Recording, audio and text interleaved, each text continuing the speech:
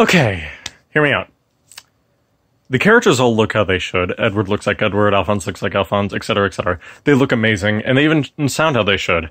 Eh, you know, except for Alphonse and Gluttony. Those are a little different.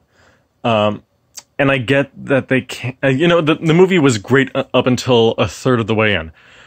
Uh, I get that they can't condense a sixty episode series into two hours. Like, you know, that's not going to happen.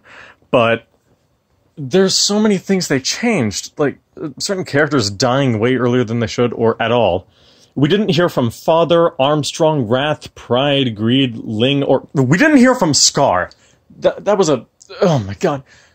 Uh, they had this Hakuro guy be a villain. I don't even remember him from the series. I know he was in there, but I don't even remember the guy. Uh, I can't. I I have no words to say what was wrong with this movie because I really don't know what was wrong with it. Something about it bugs me, bugs the bugs the fuck out of me, but I don't know how to put it into words. It's really amazing. Uh, overall, uh, just like Death Note, uh, I wouldn't recommend this. It's better than Death Note, sure. They did a better job with it, but still, they they they messed up with this one too. Anyway, now on to Bleach.